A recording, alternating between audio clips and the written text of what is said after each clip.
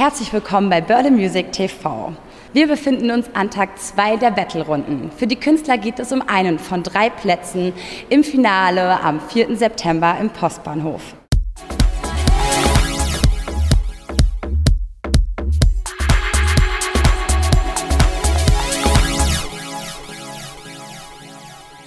Willkommen beim Berliner Music Award Battle 2013. Aus über 300 Bands und Musikern aller Musikrichtungen haben sich neun davon bei der Jury durchgesetzt. Unseren Experten fiel die Auswahl auch in diesem Jahr nicht leicht, aber umso spannender werden dafür die drei Battle-Runden.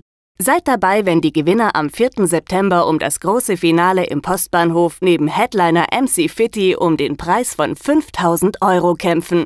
Wir sind Meloy und wir treten hier an beim Berliner Music Award. Prost! Prost!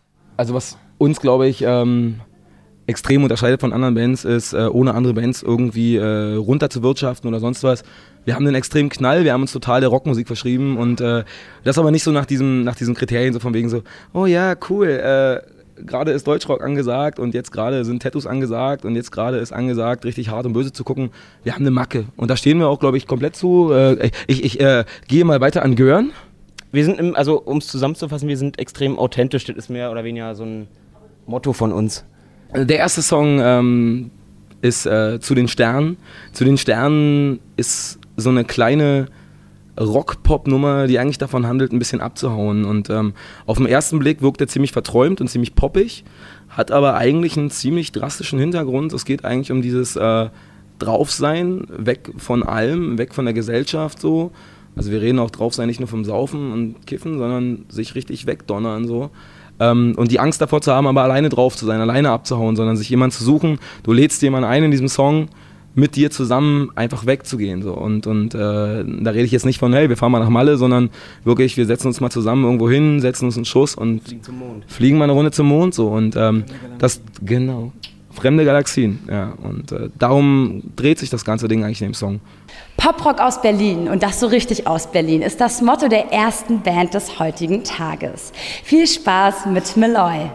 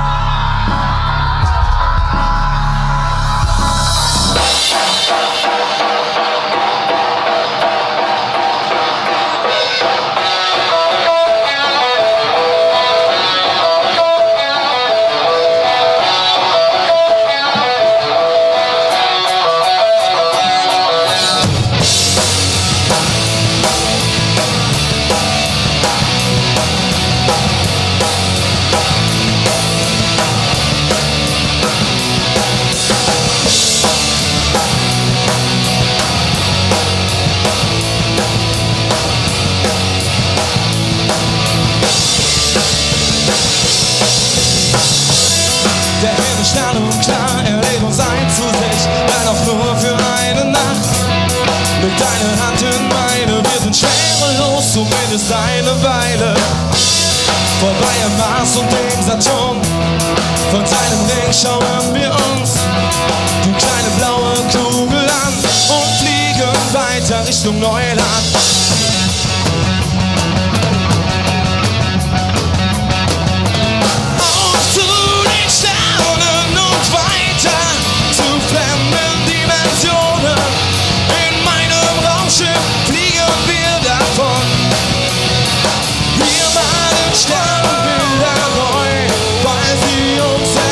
sein sollen.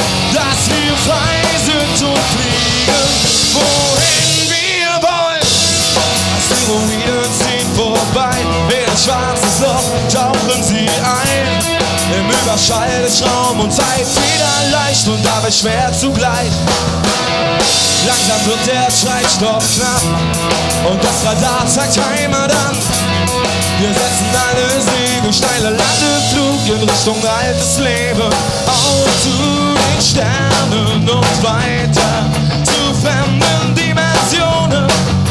In meinem Raumschiff fliegen wir davon. Malen Sternbilder neu, weil sie uns erinnern sollen,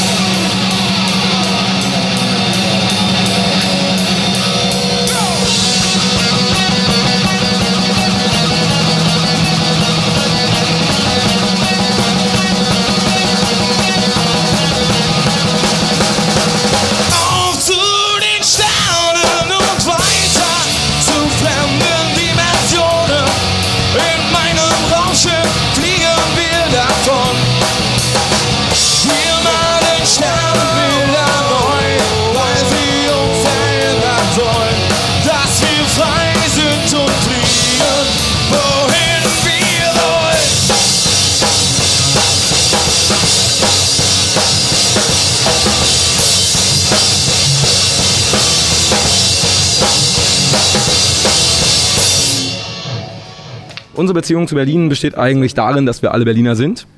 Ähm, bewegen uns eigentlich größtenteils alle im Ostteil von Berlin, ist halt zu Hause. Ähm, und Berlin ja, hat, viele, hat viele schöne Seiten, sehr, sehr, sehr, sehr schöne Seiten, hat auch ein paar negative Seiten, was aber wieder alles irgendwie Input liefert für äh, Songmaterialien für uns. Ähm, der zweite Song, Nur durch dich, äh, ist eigentlich ein total untypischer Meloy-Song, weil ähm, normalerweise schön Stromgitarre und schön Punkrock. Da haben wir uns mal ein bisschen einfach aus, aus Frustration eigentlich auch über diese ganze Deutsch-Hip-Hop-Szene irgendwie mal ein bisschen in diesen Hip-Hop-Bereich gewagt. Und ähm, ja, man, man hört ja momentan so viel über so großartige Rapper wie Bushido und keine Ahnung was. Für, ja, genau. Und wie, sie- und wie sie alle heißen und so, die ganzen krassen Typen so. Ähm, von mir aus sollen sie alle ihre Berechtigung haben, aber wir haben uns mal gedacht, so, ey, klar, machen wir auch mal. Ähm, der Song nur durch dich. iPhone? Mit, mit dem iPhone-Beat, ja. Wir haben uns gedacht, richtig true, scheiß auf teures Studio und Beats programmieren, sondern schön mit dem iPhone. Kommt aus dem iPhone. Und, oh, jetzt, jetzt kriegen wir bestimmt richtig die Klage. ähm, nee, im Song dreht sich ähm, um häusliche Gewalt eigentlich. Es dreht sich um dieses Gefühl, dass äh, Kinder von den Eltern geschlagen werden, misshandelt werden und äh, trotzdem nach der Liebe ihrer Eltern ätzen so und, und sagen so, ja, bitte, lieber hau mir in die Fresse, als wenn du mich ignorierst. So. Und äh, das kriege ich halt auch durch meinen Beruf und, und durch mein Umfeld auch ziemlich oft mit, dass es einfach auch oftmals bei Kindern so ist, dass sie halt lieber geschlagen werden, als komplett ignoriert zu werden. Und dadurch ist der Song entstanden. Und ihr dürft auch gerne hier im Raum ein bisschen mitswacken. Ihr dürft mit dem Kopf mehr. Jawohl, sie hat's drauf. Genau so läuft's.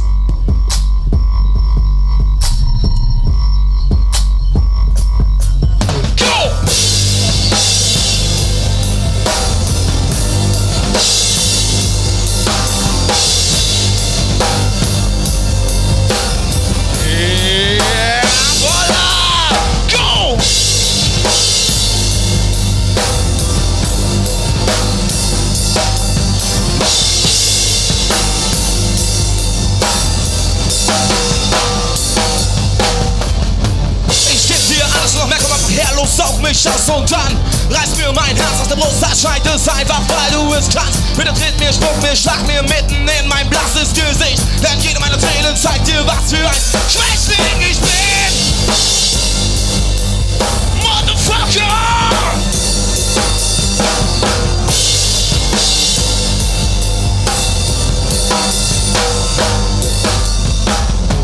Du fühlst dich gut, wenn das Blut in der kocht und ich vor dir auf dem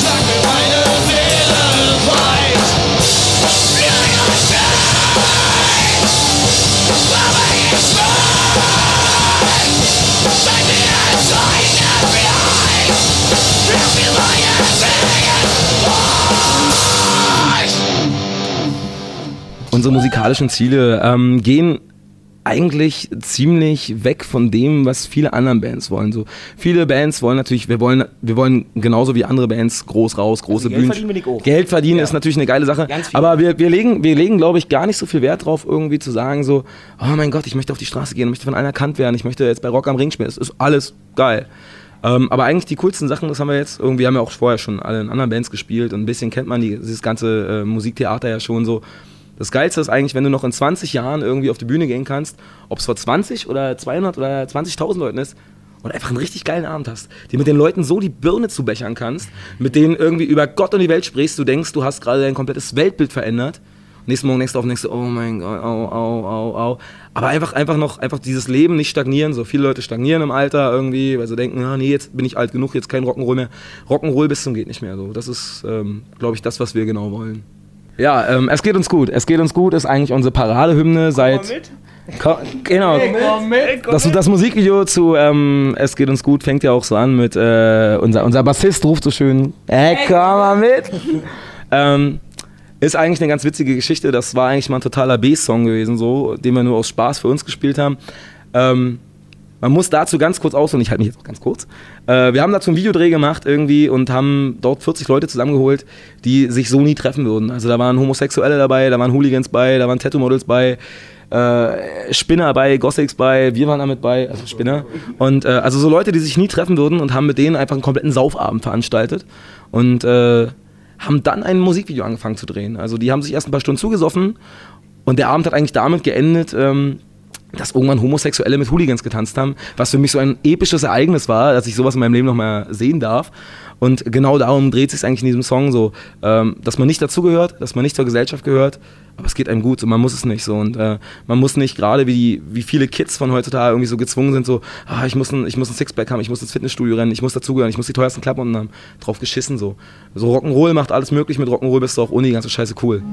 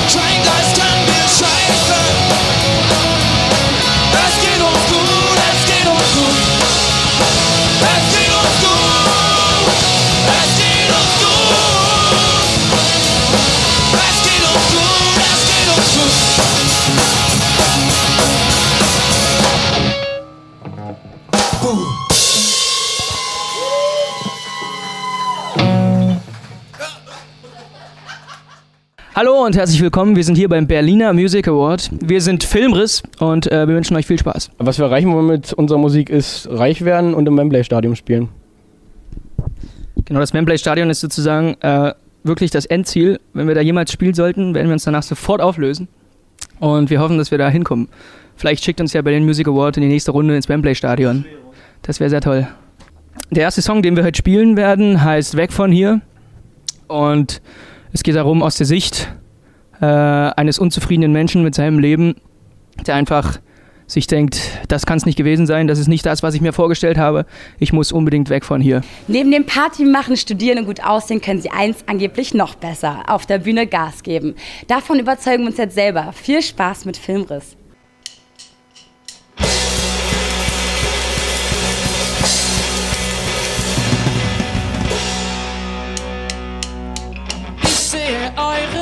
Ich sehe, wie ihr lebt. Ich sehe, wie ihr euch streitet und euch dann vergebt. Ihr lebt ein Leben, das ihr wolltet oder eins, das möglich war. Doch ich frage mich so lange schon, ist das denn wirklich wahr?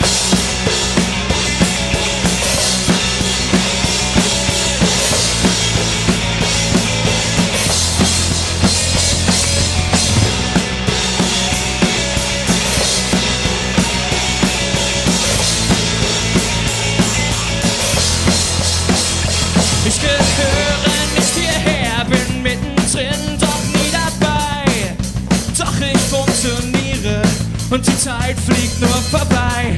Ich weiß, hier kann ich nicht bleiben, doch ich weiß auch nicht wohin.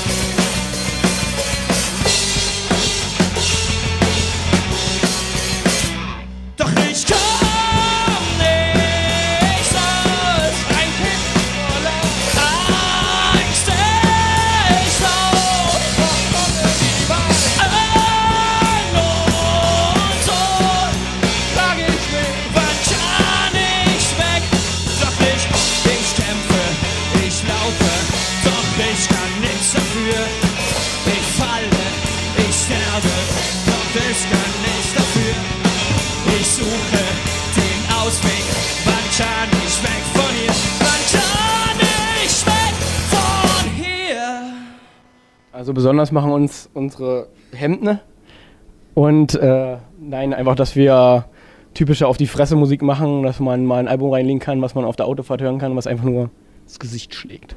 Oder? Herr Witte, was haben Sie zu ergänzen? Ja, das ist genau das Alleinstellungsmerkmal, was ich mir. Und Gesellschaftskritik, das ist ganz wichtig. Und Aliens. Der zweite Song, äh, da habe ich getextet und es geht um falsche Kreise, in die man reingerät, in, aus denen man raus will. Das soll natürlich die Gesellschaft kritisieren. Das ist ein ganz entscheidender Punkt bei dem Text und ja, hört euch an, habt Spaß dabei.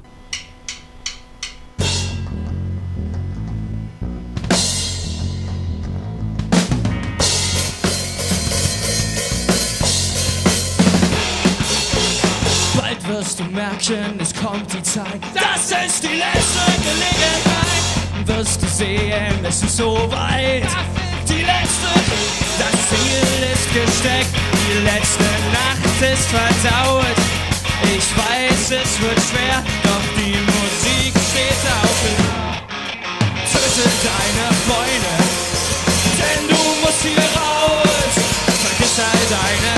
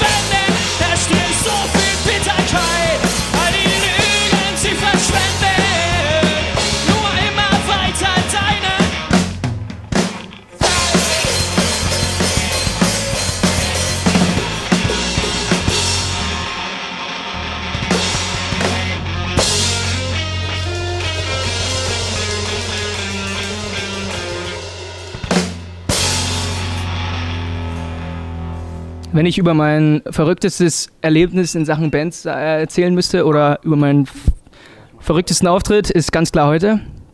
Ähm, das ist unser neuer Bassist, der ist seit heute Morgen dabei. Vor einer Stunde kam er rein, eingesprungen. Äh, vielen Dank doch mal dafür, sehr cool. Unser anderer Bassist leider krank. Als nächsten Song werden wir da einfach mal Willkommen in Berlin spielen. Willkommen in Berlin, ja, denke ich auch, ist cool, cooles Lied. Ähm, Text von unserem Bassisten, der heute nicht da ist, äh, geht, äh, er sagt immer, es geht nicht um Berlin, aber eigentlich geht es doch um Berlin, um Aliens und Gesellschaftskritik, denke ich so. Also ich weiß nicht genau, was er mit dem Text aussagen wollte, aber ich habe das so rausgelesen.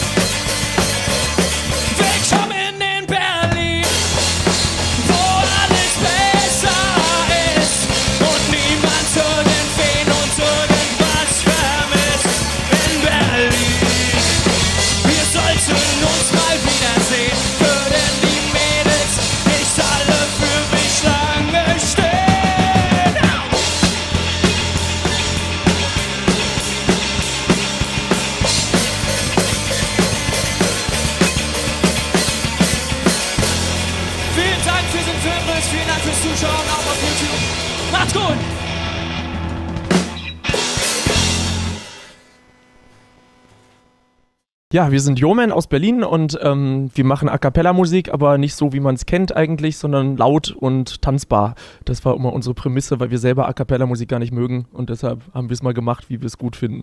Der erste Song, den wir gleich spielen, ähm, der heißt Bam und ähm, ja, der ist aus einer kreativen Jam-Session entstanden, wo wir gesagt haben, wir brauchen mehr intellektuelle Texte ähm, und äh, da haben wir uns gesagt, was ist jetzt gerade so trendig und da ist uns Bam eingefallen und es, ja, es ist ein Text, den auch jeder mitsingen kann, den man sich merken kann und nicht zu kompliziert und einfach mal schön. Ja, schön. schön auf die Fresse. Die dritte und letzte Band des heutigen Tages feiert in diesem Jahr ihr zehnjähriges Jubiläum. Nur mit A Cappella-Parts versuchen sie, das Publikum zu überzeugen. Viel Spaß mit Yo Man!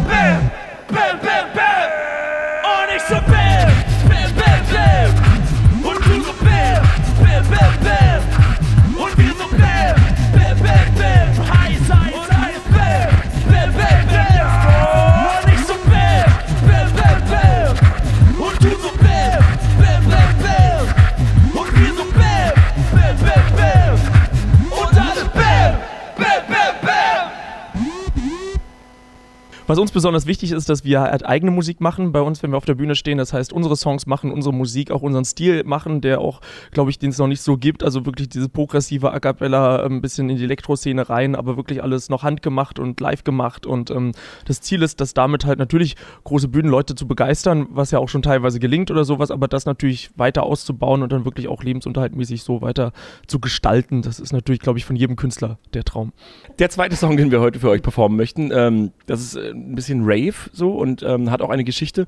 Wir sind mal beim Summer Rave aufgetreten hier in Berlin auf dem Flughafen Tempelhof hatten wie immer die Situation komplett unterschätzt vorher, haben quasi ähm, ein bisschen geprobt und dachten, das wird irgendwie auf einer kleinen Nebenbühne sein. Und dann waren wir, sind wir angekommen und hatten so ein bisschen was zurechtgejammt, aber kein wirkliches Konzept und sind hinter Westbam aufgetreten auf der Hauptbühne. Das wussten wir alle nicht so richtig.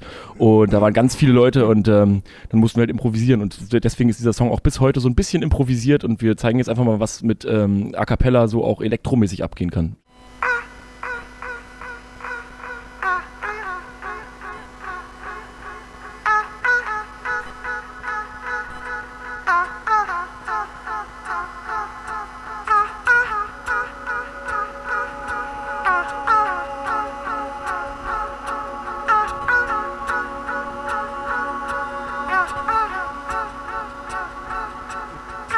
Mm.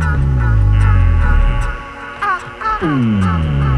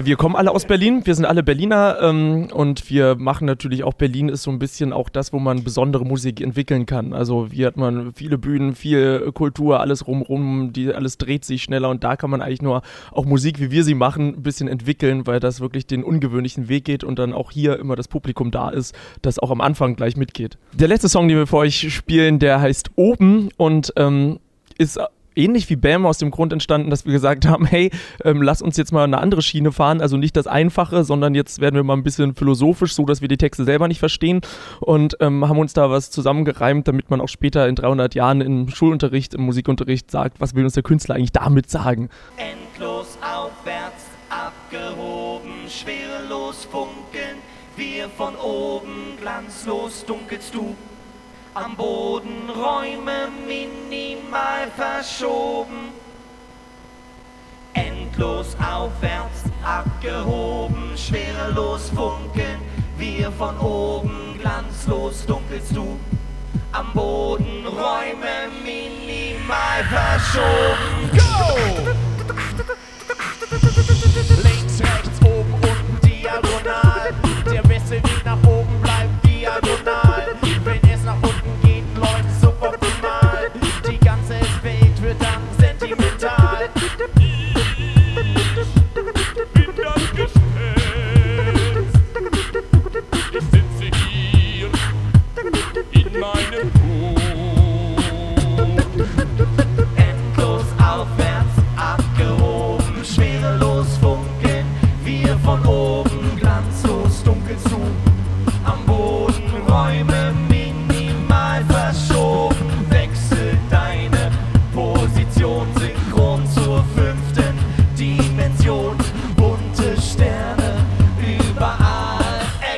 Exkursion zu uns ins All. Hier oben ist die Welt so schön. Hier oben ist die Welt so schön. Komm auf zu mir. Hier oben ist die Welt so schön. Vertraue mir. Hier oben ist die Welt so schön. Ey, hast du Bock auf einen Cappuccino? Nee. Wieso? Ist hier zu warm? Wir sind oben und wir gehen immer steil hinaus. Wir krabbeln und wir krabbeln, doch wir kommen nicht hinaus. Wir wollen doch nur einmal oben sein. Doch sind wir einmal oben, können wir runterfallen.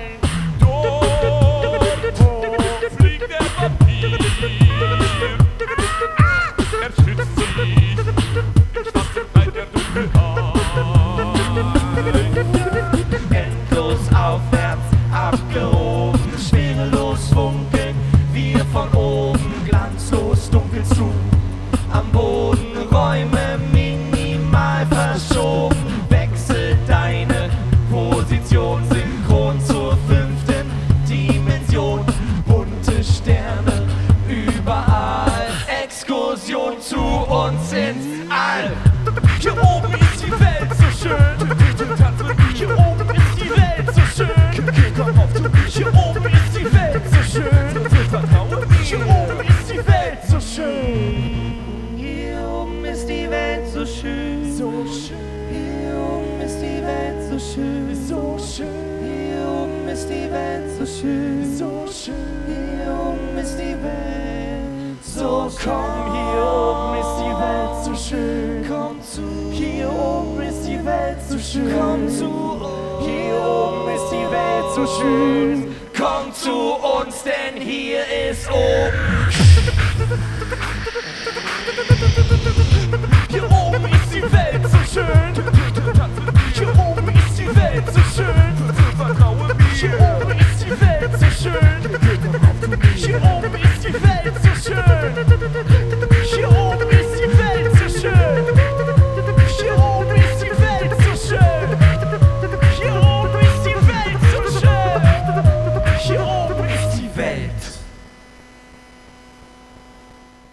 Jetzt sind wir auch schon am Ende der zweiten Battle-Runde. Sechs Bands konnten ihren Auftritt schon hinter sich bringen und ja, dann schaltet doch einfach mal nächste Woche ein, wenn es in die dritte geht.